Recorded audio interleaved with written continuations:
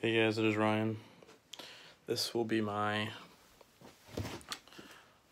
WrestleMania review on WrestleMania. Was WrestleMania good? I think there was more downs than ups. I was very disappointed.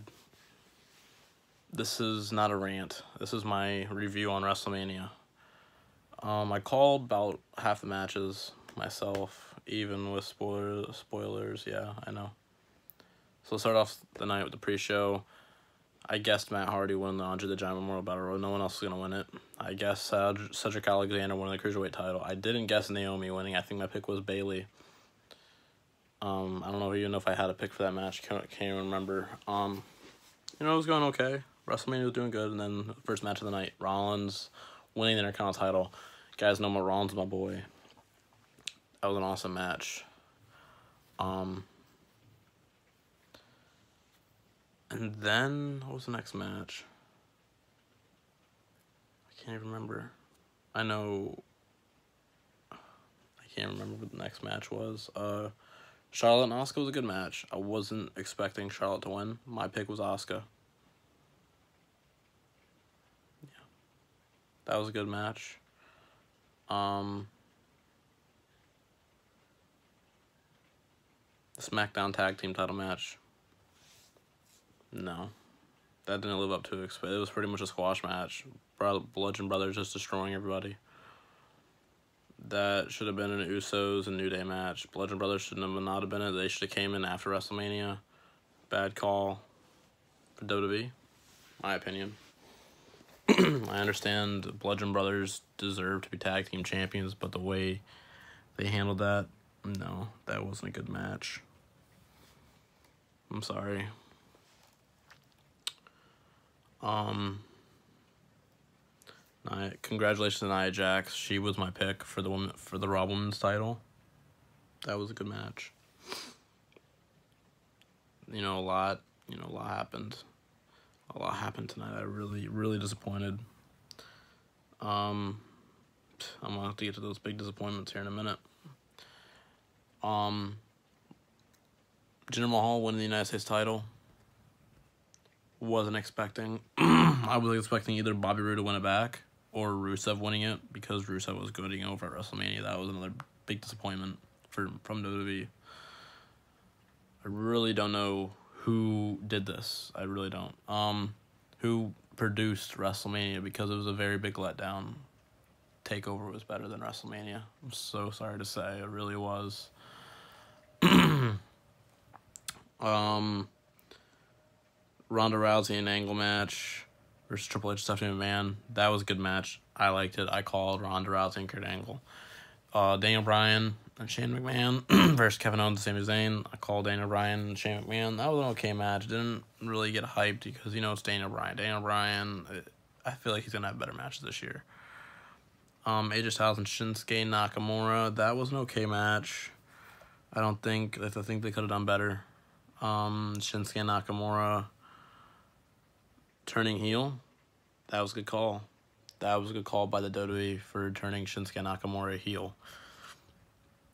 After that, I was hyped the whole night to see who Braun Strowman's tag team partner was going to be.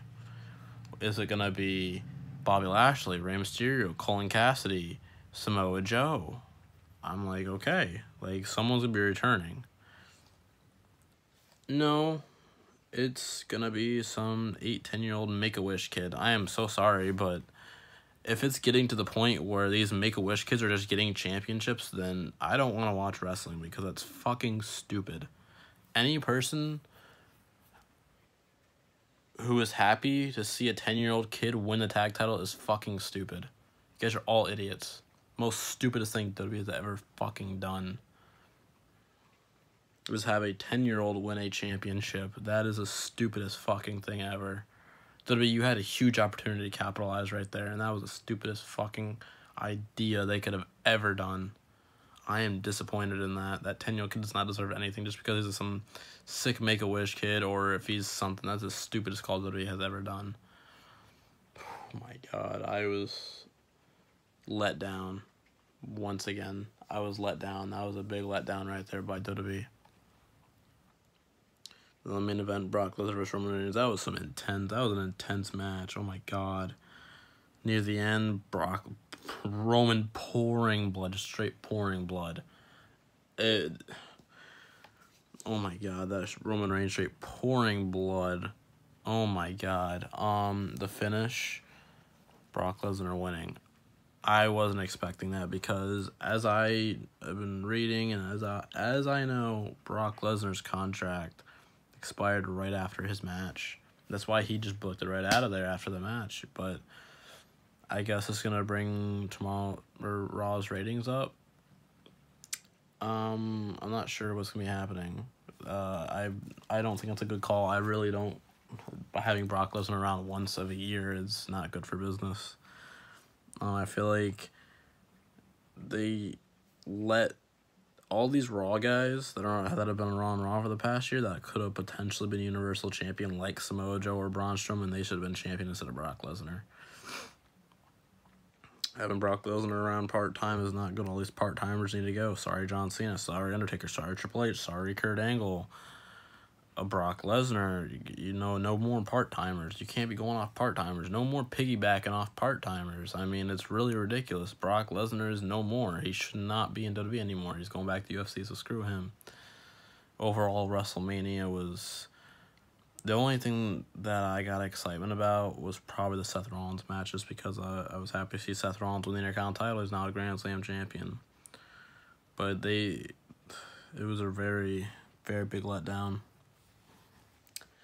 WrestleMania was not at its potential as it usually is. You know, there's a lot of high caliber matches and like Braun they Braun Strowman should have won the Andre the Giant Memorial Battle Royal match. They should have put that match on the main card and built that Andre the Giant Memorial Battle Royal match and had someone like the revival go up against the bar and have the revival win the tag titles or have someone like Luke Gallo, Luke Gallo, Luke Gallows and Karl Anderson. You have so many tag teams on Raw that are potentially tag team contenders. It's really ridiculous, man. That's killing the value of some of these titles right now. They treated that Intercontinental title as it was the main title for months. That's why Roman Reigns was Intercontinental champion. I really thought Roman Reigns was gonna be like the ultimate Grand Slam champion, holding all these titles, and then once again WWE just throws a curveball why do they make a 10 year old kid champion? Now it's literally in the history books, and that's that's the stupidest thing ever. God, man. A 10 year old kid is champion, and I'm sitting here at home doing this stupid review video. Oh my god, about WrestleMania of this kid. I don't care, but that kid is. Anyone who thought WrestleMania was good is fucking stupid. I'm sorry anyone who thought WrestleMania wasn't good, there you go. WrestleMania was not good. Some parts were, other parts didn't deliver. Oh, I missed a match. Undertaker and John Cena. Wow, what a coincidence because of I forgot because it was a squash match. I didn't give a fuck about that match, honestly. They didn't need that match. They knew that. They just did it to send John Cena back and John Cena no more. Undertaker no more. They're those guys are done. I mean, people think, oh, it's not WrestleMania without the Undertaker. Fuck you guys for thinking it's not WrestleMania without the Undertaker. I understand The Undertaker had a streak, but Undertaker's getting old. Undertaker doesn't have to be here every single year.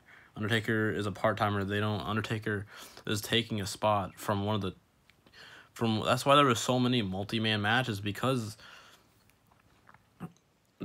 Because of part timers, literally they had John Cena, Undertaker, Triple H, Kurt Angle, and Brock Lesnar on the card. That could have been five other guys that is well deserved on the card. It's really ridiculous that they need to stop these part timers. It's been years that these part timers have been in the main event. No more part timers. They should just do away with that. You know, John Cena, you know, send his ass back and I really would have. I would have rather saw Elias win the Universal title than Brock Lesnar. Or Elias be Braun Strowman's tag partner. There was so many other guys they could have had be Braun Strowman's tag partner, other than this ten year old kid. WrestleMania was a huge letdown, and whoever watches this, let me know your opinion because WrestleMania sucked. Other than the few bits and pieces here and there, WrestleMania sucked. I'm so sorry. Take NXT Takeover was a lot better than WrestleMania. Thank you guys for watching. See you next time. Peace.